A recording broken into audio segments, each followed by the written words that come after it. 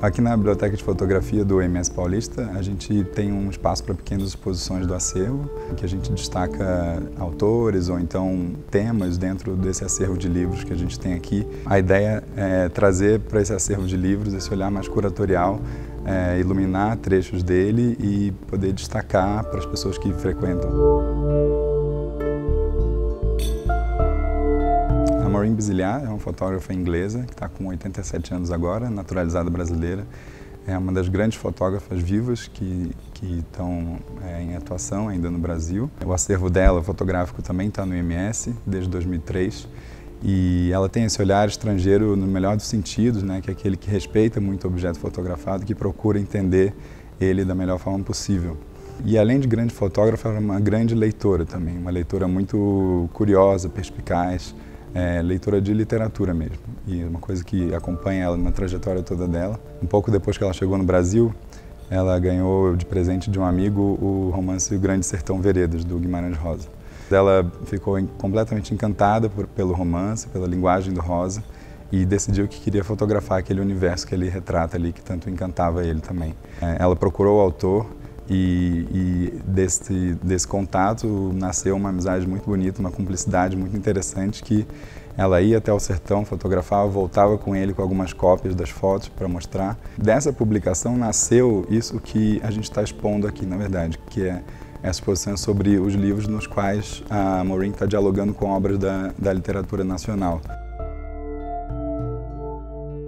Então, esse aqui é, é o livro A Visita, que é um livro que tem uma história incrível. Ele, o José Mindlin, bibliófilo, colecionador, é, encomenda para o próprio Drummond, pergunta se ele tem algum poema inédito que ele poderia publicar numa edição especial. E acaba entregando para o Mindlin, que é um poema sobre é, uma visita que o Mário de Andrade, que era amigo dele, fez ao Alfonso de Guimarães, que era um poeta da geração anterior, simbolista, é, na casa dele em Minas, quando o Alfonso já estava idoso.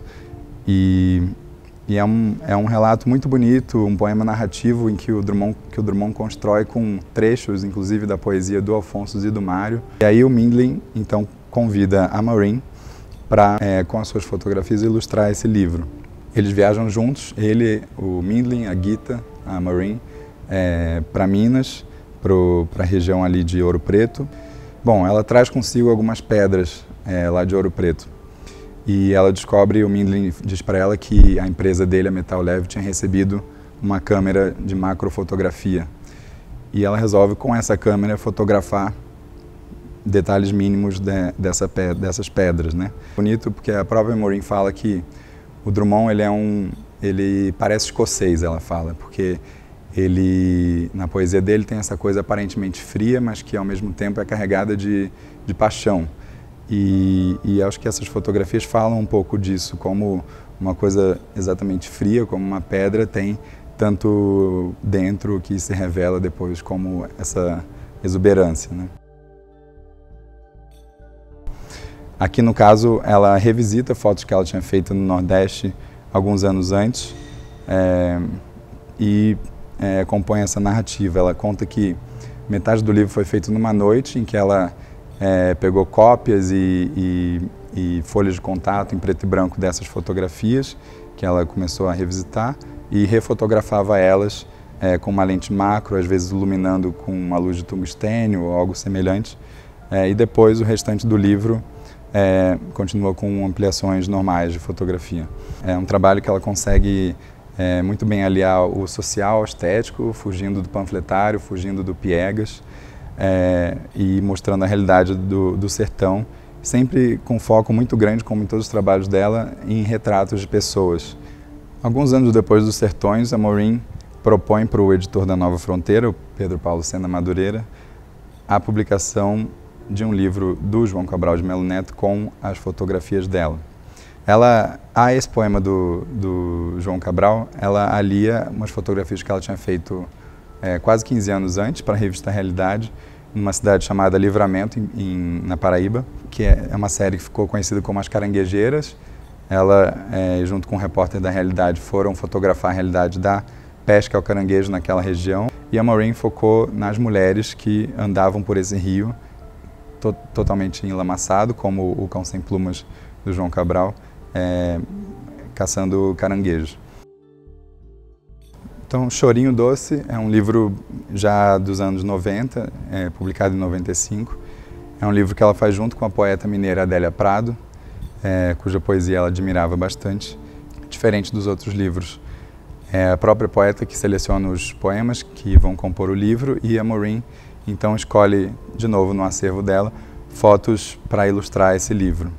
Todas essas fotos ela tinha feito é, no Vale do Jequitinhonha em viagens que ela fazia com o marido dela, o Jacques Biziliat, em que eles coletavam é, artesanato popular. Bahia, Amada, Amado, é o, o, último livro que a gente está expondo aqui e é o livro no qual ela dialoga com a obra do Jorge Amado, escritor baiano. E é talvez o, o livro em que ela busca retratar mais o universo inteiro de um autor e não apenas uma obra. É, aqui tem trechos que ela seleciona de vários livros do Jorge e ali há fotos que ela tinha feito na Bahia justamente na década de 70, quando ela fotografava para a Superintendência de Turismo do Estado e outras e outros motivos que ela estava por lá. A Maureen, além de ser uma grande leitora, ela é uma apaixonada pelo livro, pela materialidade do livro.